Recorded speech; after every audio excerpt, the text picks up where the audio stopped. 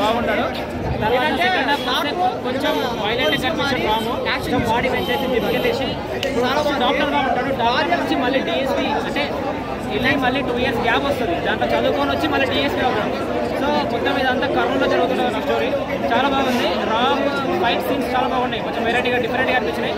తర్వాత ఫైట్స్ తర్వాత డ్యాన్స్ చాలా బాగుంది. కొంచెం కొత్తగా అనిపించింది డ్యాన్స్ ప్రీవియస్ మూవీస్తో పోల్చుకుంటే డ్యాన్స్ కొంచెం బాగుంది రామ్ది.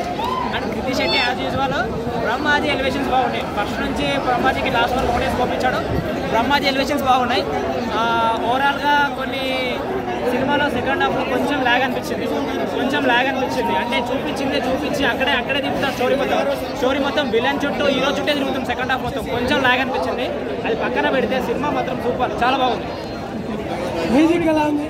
కామెడీ చాలా తక్కువ అన్న కామెడీ అక్కడక్కడ ఉంటుంది.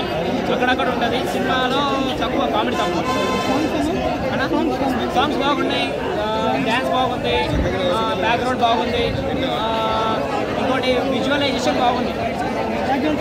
అన్న? బ్యాక్గ్రౌండ్ స్కోర్ బాగుంది. చాలా బాగుంది బ్యాక్గ్రౌండ్ స్కోర్. అక్కడక్కడ తగ్గినట్టు అనిపించింది బ్యాక్గ్రౌండ్ కానీ బాగుంది overall rating rating three point five.